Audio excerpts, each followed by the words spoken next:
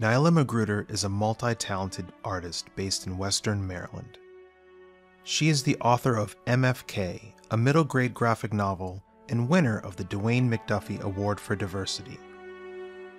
Nilah has written comics for Marvel, illustrated children's books for Disney Hyperion, Scholastic, Penguin Publishing, and has also written and provided storyboards for television animation studios.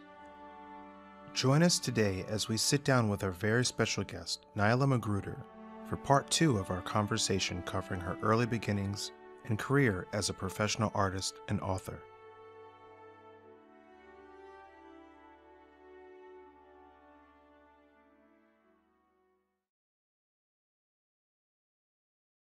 Hey everyone.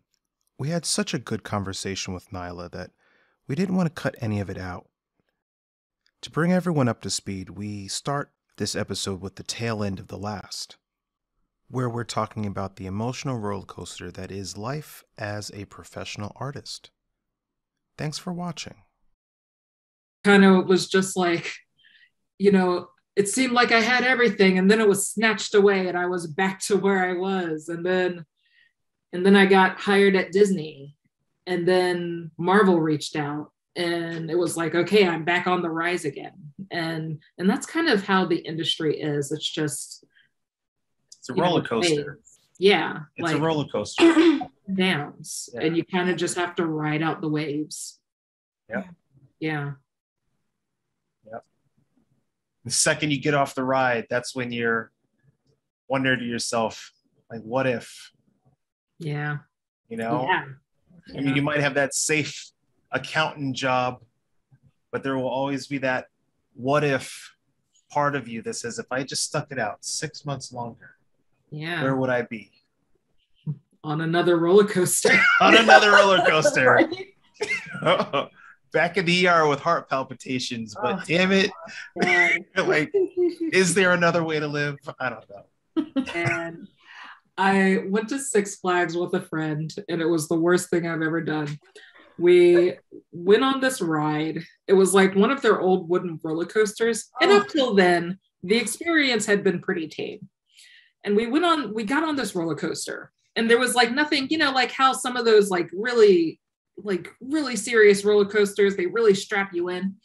like this one straps you in by your legs, and that is it. There is nothing to grab onto. So you're just like that your top half is just flapping in the wind. Mm-hmm. And we get through this, like it's going all over the place, it's looping, it's and we get to the end of it. And I look over and I realize like that was just the first half. Oh, no. Like this roller coaster, you do all of this, you do this whole track, and then you do the track again. Oh, no. And I'm like, there's more. Like you have to do it over. That is such a great metaphor. it's a really great metaphor. a roller coaster strapped by your feet that doesn't end. Oh, it was the worst. After that, I was like, we have to leave Six Flags now. Never coming back. I want off the ride. I'm an old lady now. I am very aware of mortality. Like you can do this when you're a teenager, and it feels like you can live through everything. Oh my god. Like, like every roller coaster now, my life flashes before my eyes. Can't do it anymore. I feel like the roller coaster always starts too when you're planning your own ride for yourself. It's like that. something else is like, actually, you come over here now. It's like, wait, but I was, oh no. Yeah. Before there was nothing, and then there was everything because you decided something for yourself. that was true. Yeah. I think it, it, I think that happens. Going back to what you were talking about with with MFK and and, and the, the soapbox uh, time and how there was nothing and then all of a sudden there was everything. And i'm i'm kind of having i've been having that moment and and mia's having that moment but she can't talk about it. But she's mm-hmm. having that moment right now and i'm so happy for her. But it's like you and, you know everybody ha- and and but sticking it out Yeah. and and and just doing it and maybe not believing in yourself but there's part of you that is in that autopilot mode where you just go i'm just going to sit here for the next six hours eight hours ten hours however long and just do me just do this for myself even though i know that nobody cares about it or nobody knows it exists and then the minute you put it out in the world things change Yeah. Like Mhm. you I'm not one of those people that can like put work out there. Um, you know, because I think it'll be popular. Um because that sort of thing bores me. I need to I need to do work that interests me. And my interests have never really felt terribly commercial, you know, and it kind of starts with uh uh you know how much anime has influenced me. You know, I came through an art school that was very adamantly against anime style. And don't get me started. yeah like and i you know when i first graduated ringling i went through this period where you know i was trying so hard to give the studios what they wanted and it wasn't working and i was starting to hate drawing and i was like i you know i can't can't start hating drawing now. I have like $150000 in loans based on drawing. And so and it was you know also just driving me nuts. And so i decided like i'm going to i'm going to try and get back to the place where drawing made me happy. And i i didn't realize it but as i started you know drawing with that mindset i realized oh it's just anime like i'm happy when i draw anime so I really started leaning into it, and MFK kind of came out of this. Um, but you know, I think I think to myself even now, like I kind of I kind of want the big bucks because being poor is being a poor artist is such a struggle. You know, creating and having financial insecurity at the same time is not great. And you know, I want security. I want things that will sell. Like, and I I still kind of have a foot in animation and film. You know, I think it'd be great if I had some books that got optioned, you know, some pitches that got greenlit, but so much of the storytelling I want to do, I just can't picture it, you know, in that space. I can't picture um like I don't want to write books with the intent that they get optioned for film. You know, I kind of want to write books that are hard to translate in film. And like I don't want to sacrifice that experimentation in the book realm just to make more money. And it's a constant, you know, it's a constant struggle is you know just pursuing pursuing what i love about art and seeing where that takes me versus what it feels like the industry is asking of me How do you keep yourself on the right side of that struggle? i say no to a lot of jobs like i turn down a lot of stuff because you know i've been i've been in that position where you know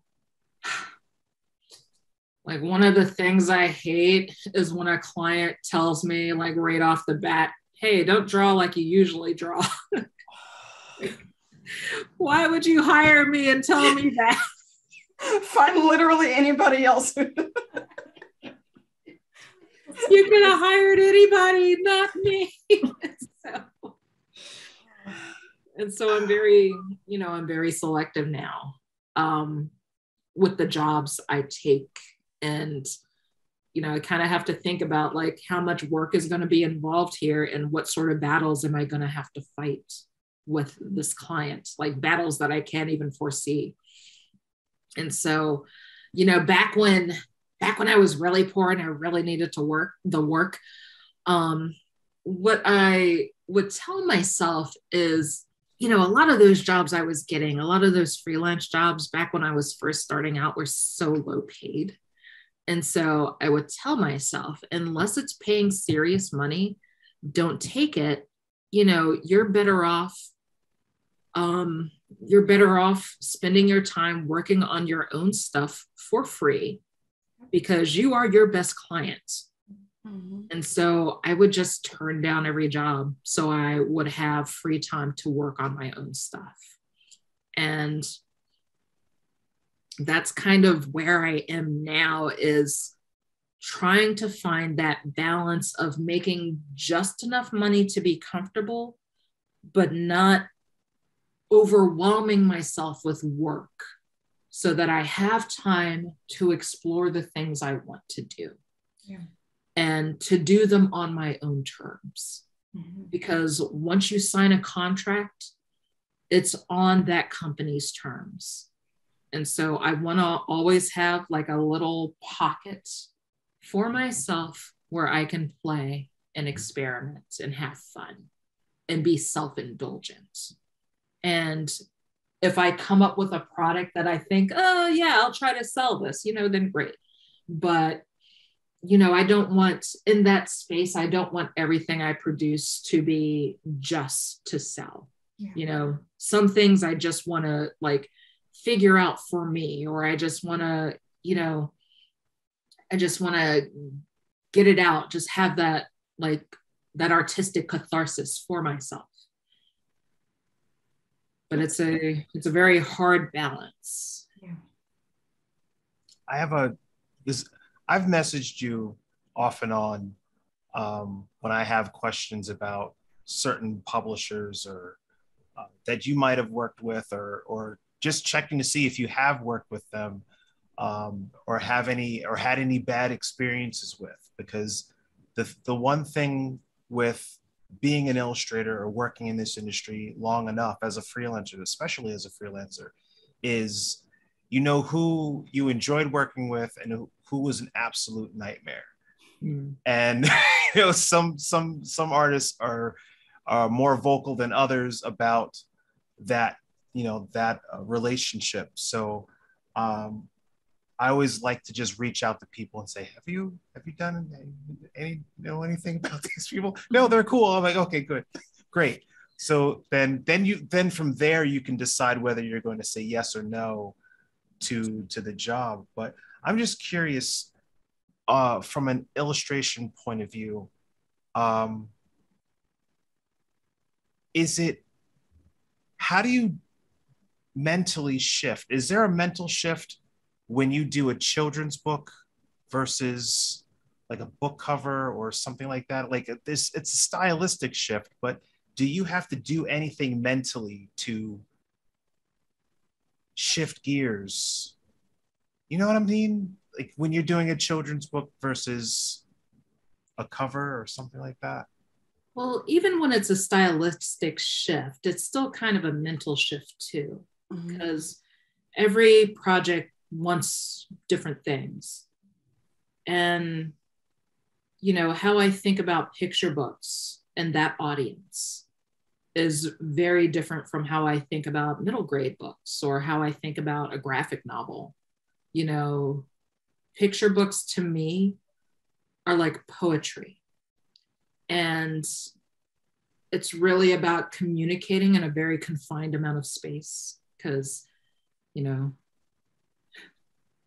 kids today like the standard for picture books these days it used to be different. Like picture books back in the day could be very wordy and now brevity is you know the mark of a modern picture book. But they're also very they're very artistic. And there's like a certain there's certain there's a certain whimsy i think to a picture book and then you know, when it comes to older audiences, I think you add a bit more drama. Um, you know, like my paintings for Wutaryoo are, you know, I kind of think of them like this liminal dream space. And I was, you know, kind of creating this world. I really didn't, I really didn't know what I wanted out of that book artistically, but I knew I wanted it to be beautiful. And I wanted it to be kind of uh, melancholy and sad, but beautiful and whimsical. And then when it comes to painting things like the Heroes of Olympus covers or Dactyl Hill Squad, which are both, well, one's middle grade, one's YA, it's all about exciting, you know, like I wanted those to be cinematic, you know, like with Dactyl Hill Squad, it was very, you know, it's like, you know, kids riding dinosaurs. Like that's, that is fantastical in a very different way. Um, and then with graphic novels, like, I don't know, because you have more space in a graphic novel to tell the story you know picture books are one thing and then covers are another thing. They're you know like I, I try to explain this to writers and people who are on the writing side of publishing that don't draw that when you move over into the visual space space and time become two very different two very important elements. And they're they're part of the storytelling in a way that you don't have over when you're just dealing with words. And so you know to convey the story in the space of 40 or 50 pages versus in the space of one illustration versus in the space of 200 pages are two very two three very different journeys. Mm-hmm. And yeah it takes going into each in a different mindset because everyone has to achieve a very different goal. So what's your time management like? I'm just because we've talked about this in the past well and... it's not good. I mean do you have a schedule? Do you have a an alert on your phone? I, you should be working right now kind of thing or is it are you a night person? Is it what's what's your deal? I feel like everybody we ask this question cringes the moment we ask it. Like my art directors and editors are going to watch this and be very disappointed in me. But they I, I feel like they probably already you know get the idea. Um because I, I rant about schedules a lot. Like it's it's kind of become my one defining trait online. Um, because i think in general illustrators work way too hard. Like the demands on our time are grueling. Yeah. like unrealistically so.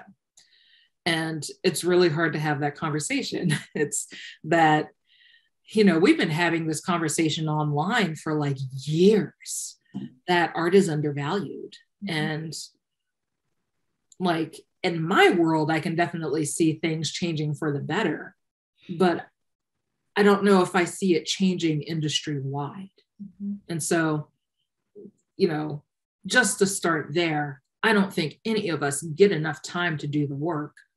But as for me and my process, number one, Google Calendar.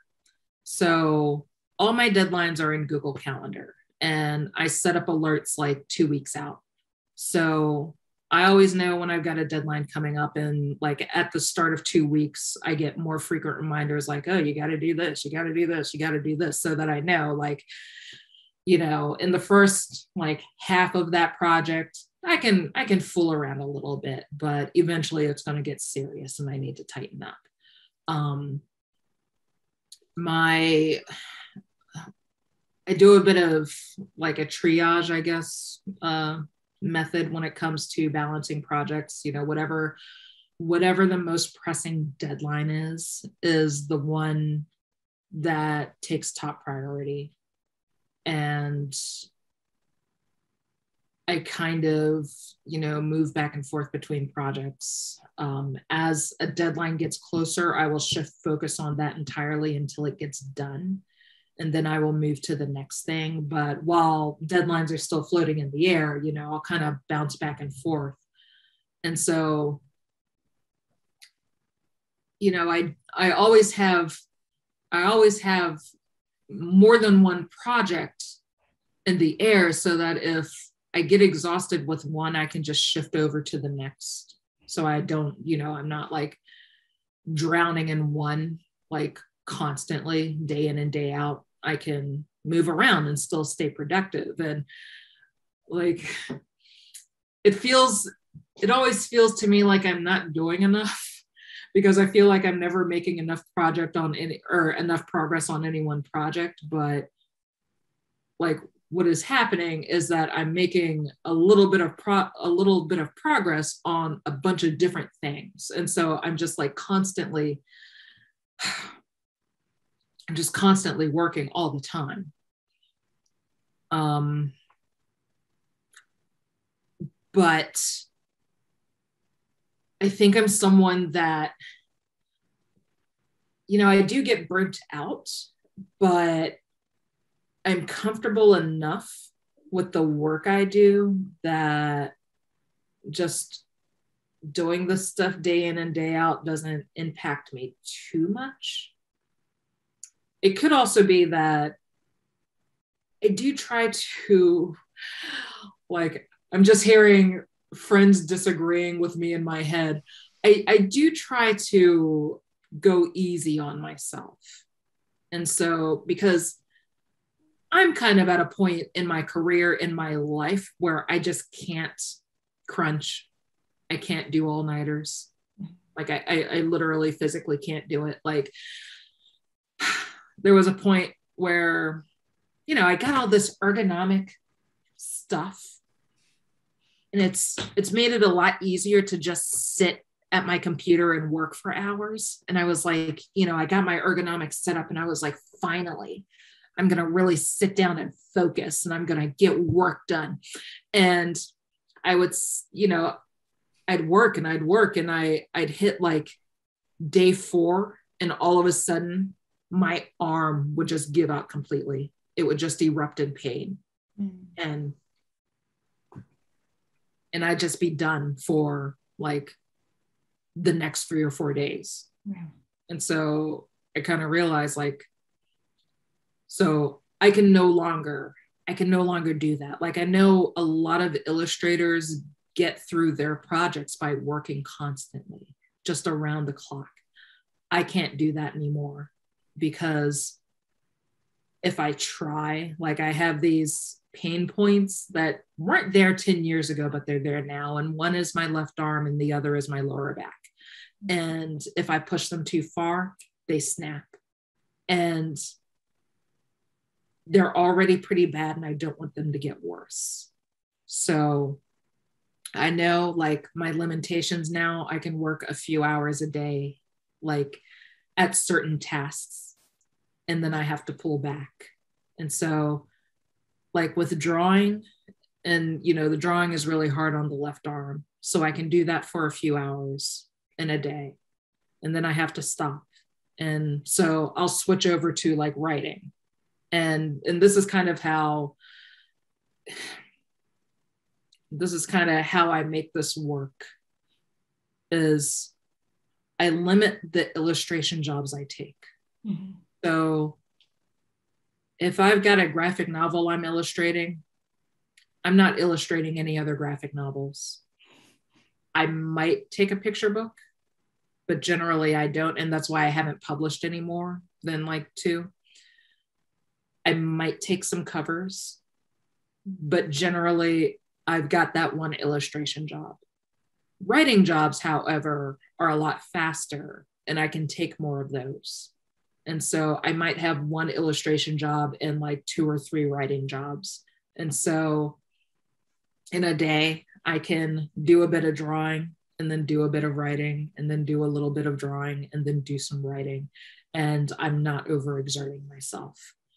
But, you know, I listen to my body a lot more now. And if I'm just not feeling it, I don't work. And, you know, I'm I'm older now, and sometimes I just don't feel good. And I have depression. And some days I just don't feel good. Like I can't think, you know, it's just not there. Like nothing, you know, and it's it's so hard sometimes as a children's book writer because some days will be really hard. And then I've got to write like some happy kid story where you know everything turns out okay in the end and like kids learn like uplifting lessons and some days i'm just not feeling it and on days like that i just don't do the work mm. and you know i you know sometimes i will tell my editors i'm sorry like i know i had this deadline i don't have anything for you like can we push that deadline? Like, it is 2022. We are two years into a pandemic. Like, I know you guys have stuff going on. My editors have stuff going on. I'm like, can we all just agree that everyone's got stuff going on? And like, our production levels right now are ridiculous. we are all living through this enormous amount of trauma and and still like putting books out yeah. like i don't know i'm very lucky that i'm in a position where i can kind of say hey hey can you guys just back off a bit? But i still try to hit my deadlines you know? And like i'm a faster writer than i am illustrator. And one of the you know when you're an illustrator like to meet those deadlines there there are the the time management tools you know i i stay you know i, I use google google calendar to keep organized and i i'll use spreadsheets that kind of calculate like um you know how much time on a graphic novel I have, like how many pages I need to get done in a day or a week. And I use um, I use Toggl this app called Toggl, and I track my hours. And so that it's that is really helpful, especially with graphic novels in particular, because I can look at how much time on average it takes me to do like inking a page or like lettering a page, that sort of thing. And so I always you know, kind of have a mental record of like how much, you know, how much I can get done in a certain block of time. And so what gets me through is a lot of like a lot of math in my head, really. But, you know, the other thing is like with graphic novels, yeah, work quickly. I don't do this when I'm painting. With painting, I like to take my time, but with graphic novels, you know, every, you know, not every panel needs to be a masterpiece. You know, graphic novels are books that you can read quickly. So, like an illustrator can do the art quickly as well. Like you can, um, you know, you can streamline, you can simplify, like not every element in a panel needs to be in focus needs to be detailed and you can you know cut time that way you can streamline and speed up the process. But it also kind of makes me sad to think about this because when it comes to hitting these tight deadlines and my my deadlines are kind of okay but some of the requests i get for new projects are like you know the idea of doing 200 pages like full color in a year. I just can't do it and i think the people who do are working very quickly I think they're cutting corners. I think they're doing all that simplification and working fast to get the work done mm-hmm. because you can't be detailed and meticulous and still get the work done in that time frame. But I think to myself, it's unfair to expect every graphic novel to be done quickly because graphic novels are arts. And I think some works of art deserve the Sistine Chapel treatment. They mm-hmm. deserve to be detailed and meticulous and pristine. And it's unfair to ask every artist to sacrifice that for the sake of a publishing date. Like, I think some books just take longer, and that's okay. Like, some books should take longer. Yeah. Well, especially when I mean when the when the publisher is just worried about the bottom line, they're just worried about getting it on on bookshelves by a certain date so that they can make their money. Yeah. They don't really care about your mental health, your physical health, as long as you've turned out what they've asked for.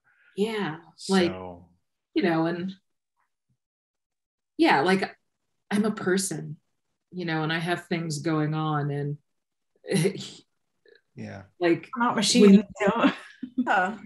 like right. when you email an editor and you have to say like hey i'm not going to make this deadline it's such a shitty feeling yeah. because you've signed a contract you've made an agreement and you know for that editor's impression of you to be that you can't hit a deadline it just makes you it makes you feel small but at the same time you know and then you then you can't explain like you can't say this is the reason because oh i always do. I i'm i'm that i'm that excuse guy you know? Uh, i never i never give the i i never give the excuse. Sometimes i'll just say hey like things are going on but i never give the excuse because i don't want to bog it down with that. But yeah.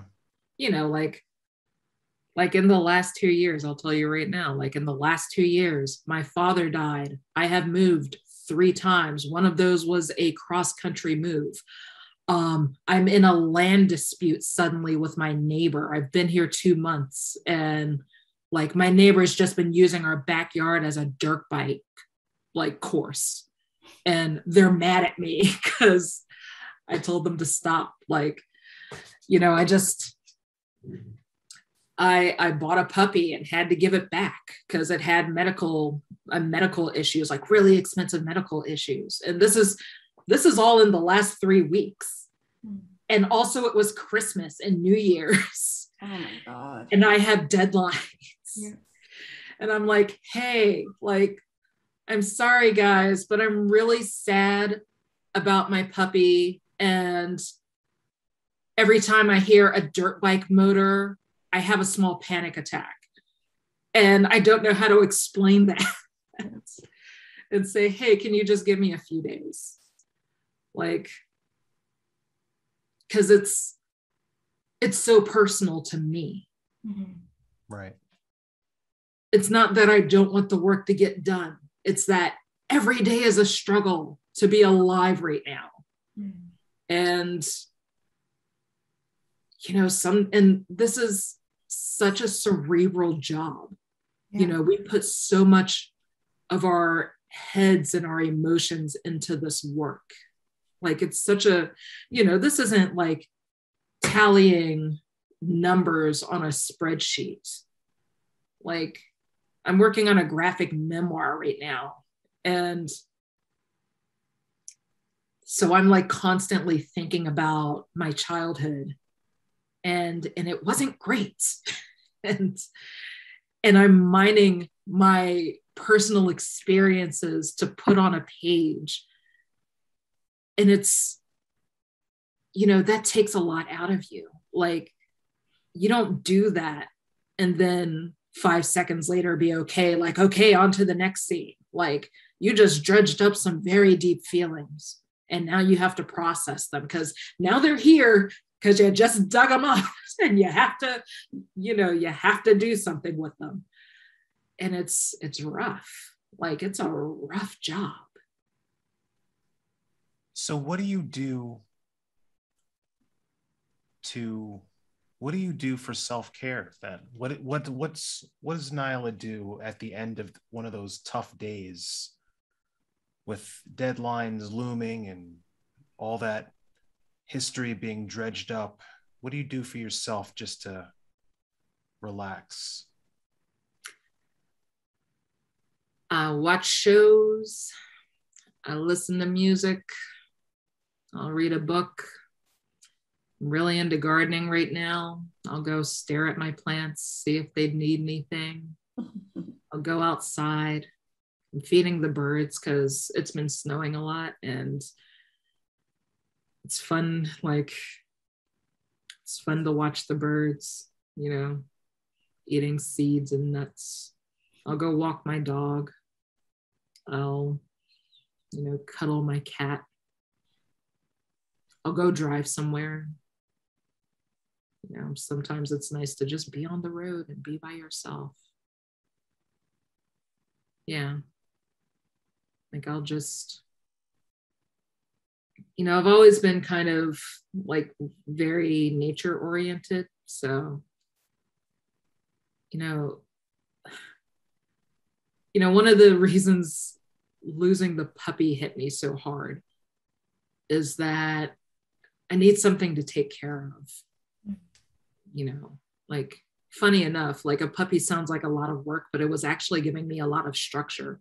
Hmm. Like I was actually getting more done with her because taking care of her required so much discipline that it required the rest of my life to be disciplined.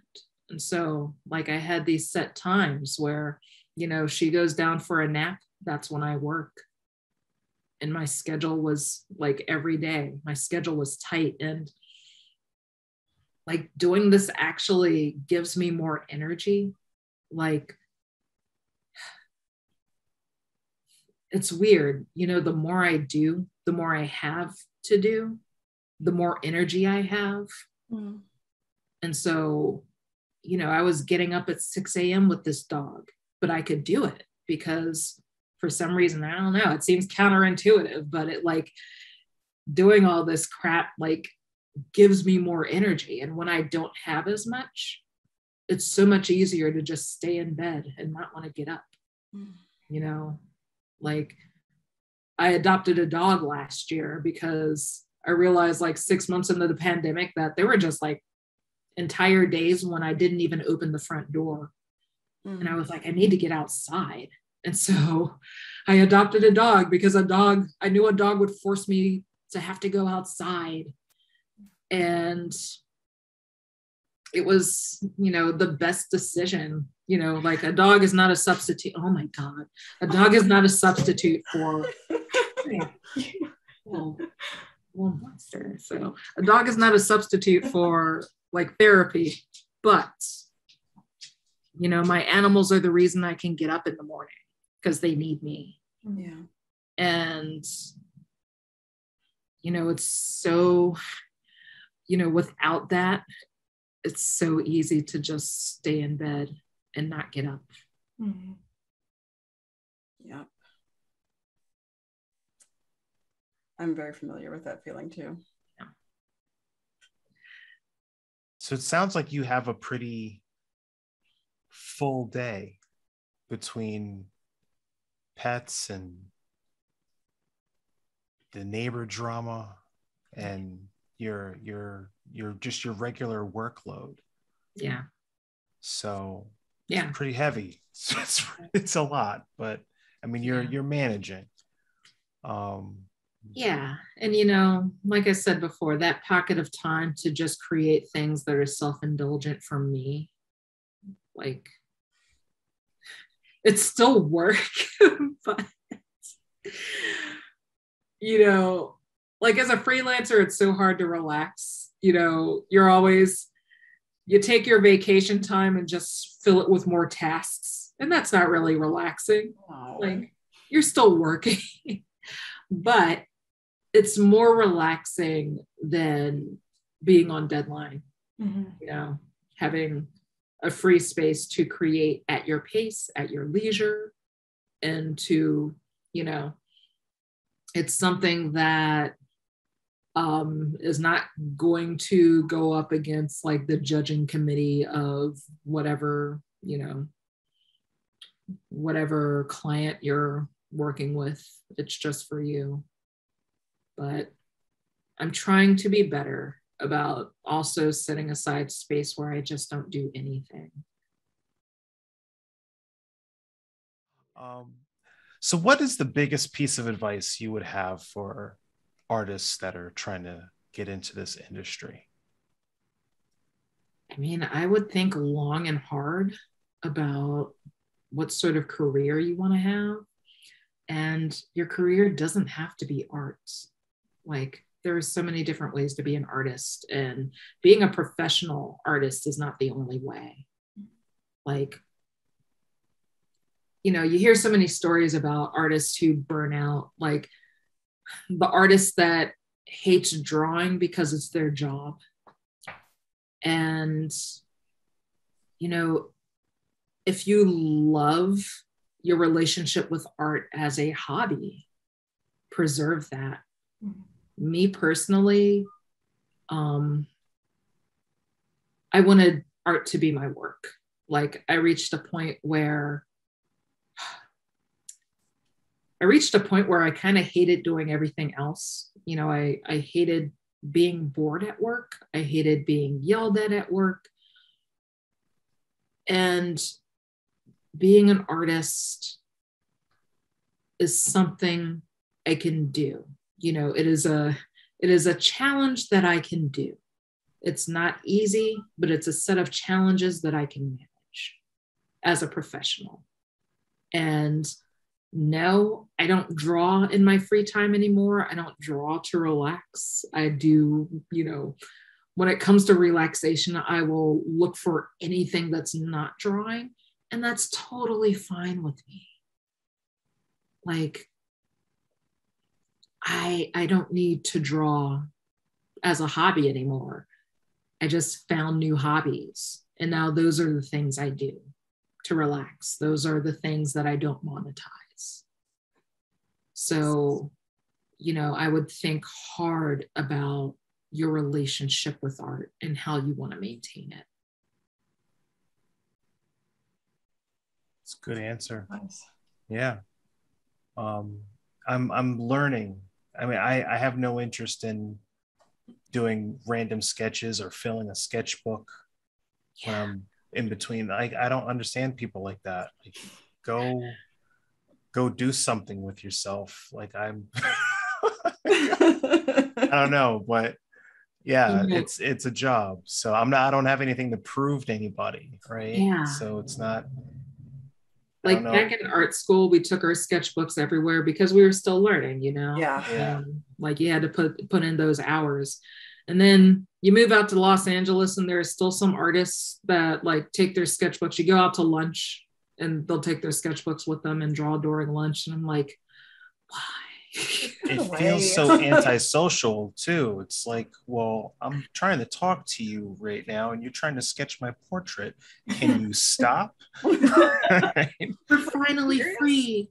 Yeah. We have 45 minutes before we have to go back to the office. Why? Yeah. like you're about to go back to this already. Like you don't have to what are we doing? And I think it's because art school had taught you that you have to take it everywhere. That yeah. like you're not a good student, you're not a good artist if you don't always have your sketchbook. When in reality, you're not a good artist if you're not spending time observing the world around you. Right. buried in your sketchbook, you're not actually seeing everything. So like yeah. what are you doing? Put it away sometimes and just let yourself absorb it and then later express it. Yeah. Yeah. Like something I I always want to take pictures, you know, to have reference. And and first of all, I never use that reference. I take so many pictures and I never actually use them. Yes. But second of all, like I'm very conscious of the fact that not very many cameras can fully capture what you see. Mm-hmm.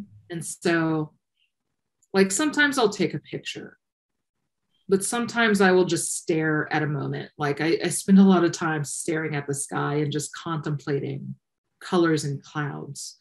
This sounds so poetic, but I spend a lot of time just staring and trying to just imprint like imprinted in my brain. Like, and just remember, you know, what it looks like and how it makes me feel instead of trying to capture it in the moment. Yeah. You know, to see things with my own eyes and not through the filter of, uh, you know, a camera lens or through the filter of like the drawing that I just sketched, you know, as representation of it, you know, just try to be in the moment and experience that moment and remember that moment. That's perfect. I like living that way as well. Yeah. Yeah. Yeah. And I just try that and fail practically every day. Oh, Eric. but uh yeah, that whole being present thing, that's uh it's, yeah. yeah. it's hard. I think one of the tricks to it is kind of like I think I actually weirdly I talked to my brother about this, but looking at things as if it's like the first time you've seen them and really absorbing them and being like allowing yourself to just be fascinated by what's around you. Yeah. just like I love that this moment will never be the same, even if it's the same view, you know, on a different day. And just, I don't know, when I can tap into that moment and feel like I will never repeat this particular sensation, it's actually really powerful and magical. And I want that feeling more often. Yeah, it, it's it's very uh, hard to keep yourself in that mindset. I think it's actually part of mindfulness, Yeah. but it's something that you have to practice. You're not going to be good at it immediately. Mm. Yeah. Yeah. But it's supposed to be hard. I, I think somebody made this connection. I never forgot it after I heard it. But it's, it, you know, when you go to the gym, the weights don't become any less heavy. You know, the Yeah. more, the more you practice. You know, the the whole point is that it's got resistance. That it is difficult. You know, and same with with being present or meditating. It's supposed to be hard. It's it's the practice that that's what you have to do every day. But yeah. So Nilah, thank you. Thank you so much for for joining us today, uh, taking us through that journey, through your journey, uh, from you know humble beginnings to you know working in different animation studios and finding your place uh, in this industry and doing the things that you love. Um, it's really been about perseverance and taking risks. I mean, would you be where you are right now doing the things that you actually care about if you hadn't saved up your money and went back to school or you know did the things that you needed to do to get to to to live the life that you wanted to live to be happy in your place of employment or you know being happy making the you know being happy in your life you know in your career um, so this has been it's been really great to to hear your your story and uh, uh, thank you thank you again for for joining us Thank you so much. um, Yeah. Thanks for having me. Do you have anything Same. that you want to promote before we go? Yes. Uh, I guess I should mention that I have a picture book coming out in a couple weeks or a week. I don't know what day it is. I don't know how many days happen, but I have a, I have a picture book called Wutaryoo coming out on January 25th. You can pre order now from your favorite bookseller. Uh, go indie if at all possible, bookshop.org if you don't have an indie bookseller in your town. Um, yeah, January 25th. oh wonderful i thought that was already out maybe i, thought was so too. It was supposed to be out. Okay. Pandemic. i was i saw pages from that last year and i thought oh this is really cool. How did you see pages? um i don't know. Like no it's i'm We'll talk about sure- that later. this is the this is the this is all of the this is like the the animals looking like maybe i just saw the cover Yeah. but i'm pretty sure i saw interior art as well I might have posted interior art, honestly. But no, I mean, it's been done. It's been done for a while. Wow. It was supposed to come out last year, but it got pushed. amazon might have spreads of that Like It could, yeah. yeah, so because I know I've seen it. I know Yeah. I've seen some, but no, that's great because I, I really No. want to. Yeah. I need to go to the store and check that out. I'm excited. Yeah. Um, because you're you're you're everywhere. So this is it's really cool to to see your work pop up. Um, really happy it's out there. I'm really happy that you found your place. Um, because it is it is a challenge. This is a challenging profession. For sure. So yeah. But anyway, thank you. thank you so much for joining us. Yes, thank you Um, so much, Nilah. yeah. No, so- thank you guys. Yeah, for our listeners, pre-order Nilah's book because it's coming out tomorrow from the day it's aired. So look the calendar. We'll have the link in the show notes too. Yeah, link is in the in, in the comments. But um, yeah, thank you so much for joining us. We really appreciate it. This has been wonderful. Oh, thank you. All right, bye everybody.